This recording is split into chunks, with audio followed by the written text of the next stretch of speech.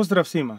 E, danas ćemo snimati kratki tutorial kako zamijeniti e, volan na miniju. E, ovaj trenutni volan kao što ćete vidjeti nije baš nije baš više dobar, odnosno počeo se malo rasparati i nekako imao sam dvije opcije ili odvesti ga tapetaru, jel, profesionalcu nekakvom ili uzeti rabljeni. Ja sam se odlučio za uzeti rabljeni, ali u boljem stanju, nekako original je original. E, stoga sad ću snimiti kako to e, jednostavno zapravo napraviti. Najvažnija stvar koju e, trebate imati na umu prije ovoga je s obzirom da baratamo sa eksplozivnom napravom, odnosno airbagom, onda je potrebno prije bilo kakve radnje oko airbaga isključiti struju u autu napon, odnosno jednostavno odspojiti akumulator. A sad da vidite zapravo zašto mijenjam, e, zašto mijenjam e, ovaj volan. Evo, znači radi se o ovom standardnom minivan e, volanu, stvarno je dobar, ali kao što vidite ovdje gdje se često zapravo i drži volan, tu je potpuno nažalost plastika, odnosno ovo bi trebala biti koža je nekako koža, jednostavno je dotrajala, ne? ovdje gdje se drži. Sad, zašto sam se odabrao, zašto sam odabrao opet originalni ovaj? Jel, kao što vidite nije onaj trokraki, nego je ovakav nekakav retro, pa upravo zbog tog razloga, retro je. Znači tih godina trokraki, e, trokraki volani su bili rezervirani samo za sportske automobile, jel? Većina imala ovakve, a meni je nekako ovo potpuno retro, ovaj, e, jer danas svaki automobil ima skoro e, trokraki volan, a ovaj ima evo E, dvokraki. Stoga, eto, čisto originalnosti, originalnosti radi. No, kao što rekoh, prije nego što krenem s bilo kakvim radovima, treba otvoriti haubu i akumulator e, odspojiti. Evo, znači akumulator na miniju se nalazi naprijed ispod ovog e, poklopca, a obično nam je potrebna ključ broj 10, kao što je u ovom slučaju. Evo ga. Ja obično volim i plus i minus maknuti kada se radi ovakve stvari.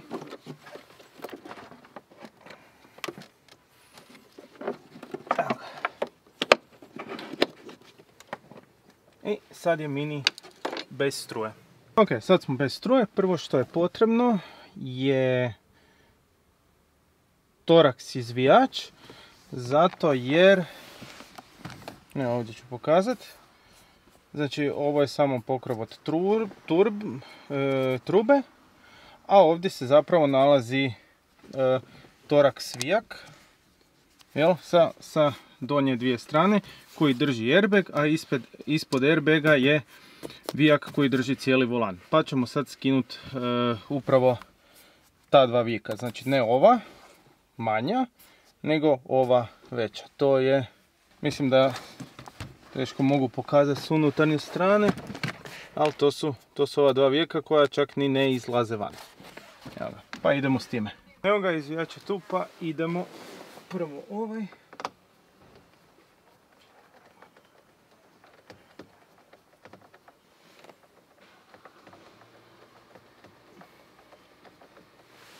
Evo ga malo su dulji. I idemo ovaj drugi.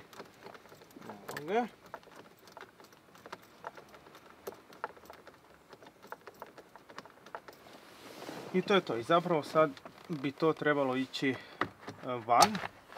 Evo ga. I sad ono što je najvažnije, postoje dva postoje dva ova prekidača koji drže i kao što vidite ne može se pogriješiti. Sad ću to malo bliže e, pokazati. Znači evo ga kao što vidite, kao što sam rekao, znači ne možete pogriješiti. Jedan je zeleni, jedan je crni. I tako vam je... Evo ga da malo zoomiram. Evo ga, tako vam je i ovo. Zeleni i crni konektor, znači ne možete pogriješiti s njime. Sad najvažnije je samo otkriti kako on drži. Dobro imate uvijek jedan mali izvijač jer sigurno negdje treba nešto pritisnuti kako bi se on odspojio.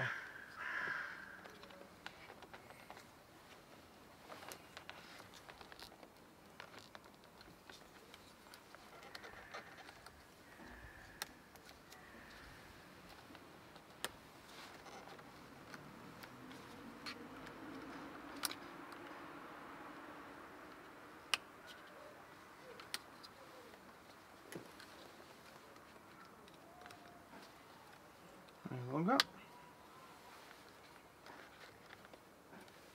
Malo ide teže, ali konektori su dolje.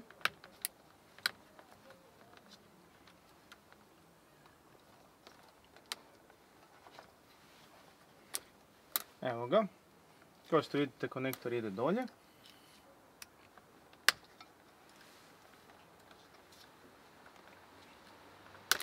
Jep, evo ga.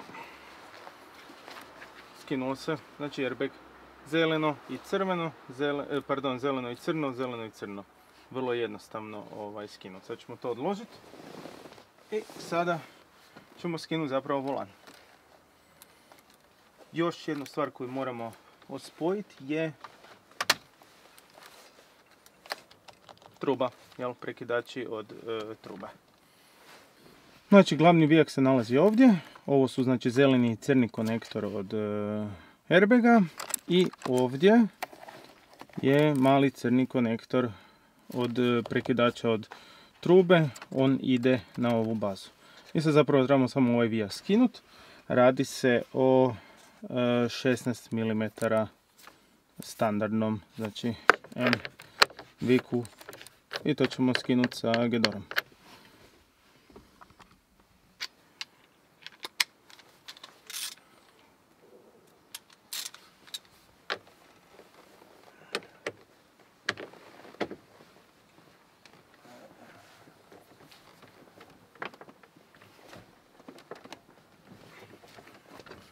Bilo bi bolje zaključiti volan, tako će biti lakše. Znači, vrlo čvrsto drži, ali kad jednom pusti, to je onda to.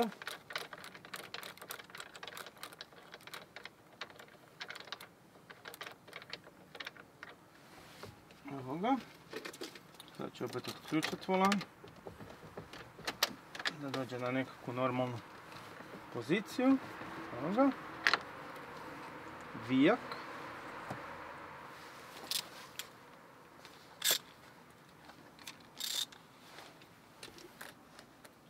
I sada ću vam pokazati zazore. Znači, ono što je najvažnije kad mijenjamo volan su upravo, eh, kao što se ovdje vidi, znači da zazor na samom eh, prihvatu volana i na samom volanu budu eh, ujednačeni, odnosno onako kako trebaju biti. Kao što vidite na ovom drugom volanu, sad ću snimiti. Kao što vidite na ovom drugom volanu, isto postoji taj zazor. Znači, u pravilu samo se e, stavi na isti zazor na kojem je bio i stari volan, tu nema previše e, mudrolija. Evo nas, samo, e, sada nam samo prethodi da skinemo stari volan i stavimo novi. Ono što treba obratiti pažnju što stvarno postoje sitni zupci, tako da vrlo precizno se može namjestiti, ovaj novi volan, odnosno drugi. Naravno, ono što treba uzeti u obzir je provući provući kablove, namjestiti zazor i to je zapravo to. Vrlo jednostavno sjedne volan. Tako da se nemojte začuditi ako to bude e, dosta lagano. Znači, truba je truba je uključena. Airbag vratiti kao što sam rekao, znači jako jednostavno. Evo, zeleno je zeleno, crno je crno, tu nema nekakvih skrivenih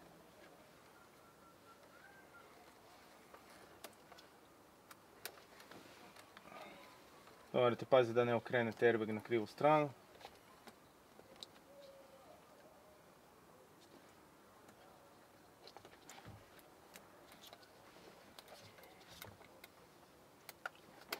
Ono što je jako zanimljivo je da isto ne možete na krivo okrenuti taj konektor, baš ide kako ide.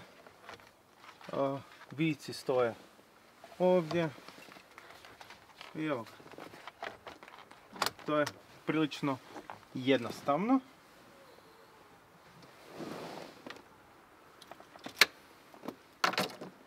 ili nije. U ovom slučaju.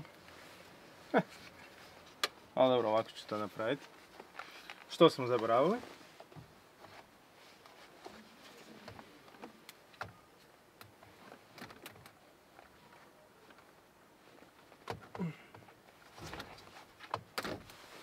Ha, dogodi se ovdje.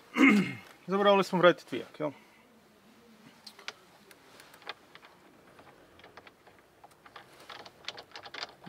Evo ga.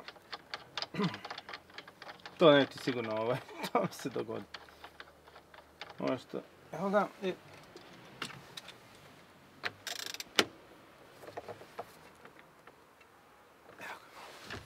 To je to. Ponovimo postupak. Rekli smo, jel? Zeleno na zeleno, crno na crno.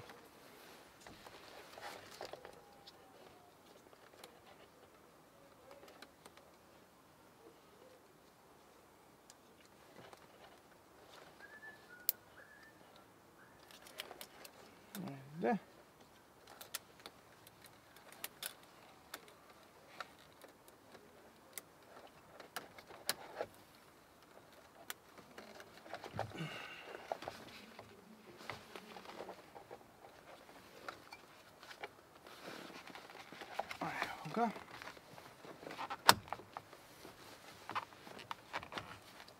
Mora sve lijepo sjest. Možete se cijelo sada. Evo ga. Hop.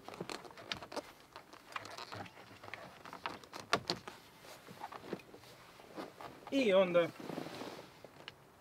zavrnuti vijek.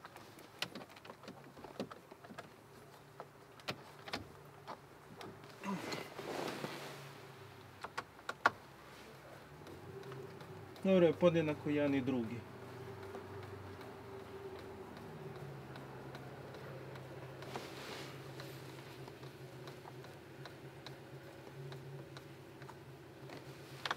Evo ga. I sad još drugi.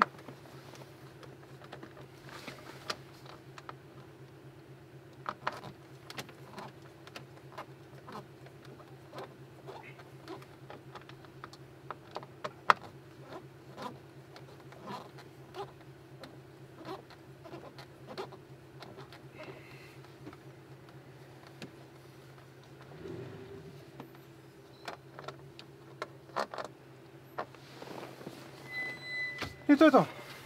Vratiti struju, dati kontakt, vidite li sve u redu sa airbagom i posao je završio.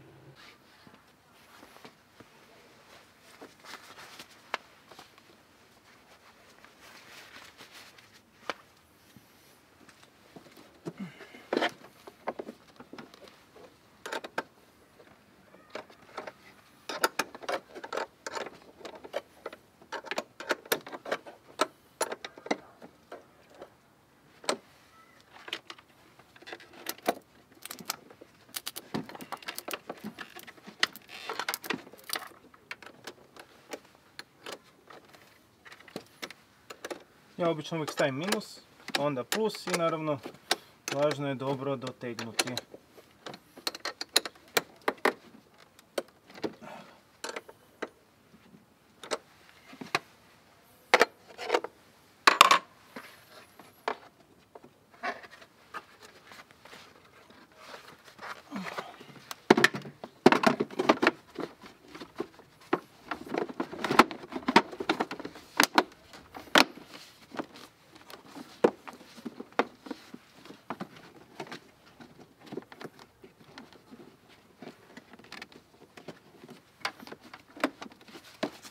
I to je to. Sada idemo dati kontakt.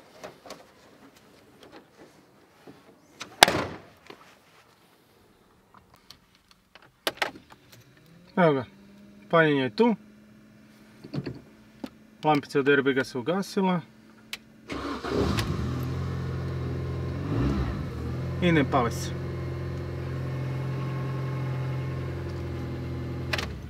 To je to. Volan je spreman za vožnju. Nadam se da vam je ovaj video bio koristan.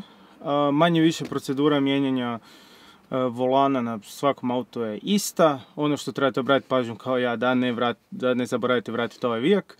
Jel? I da iskopčate struju kada baratate sa airbagom. I to je to. Hvala vam ovaj, na lajku, šeru. Ako se niste, pretplatite se na kanal. I do sljedećeg videa.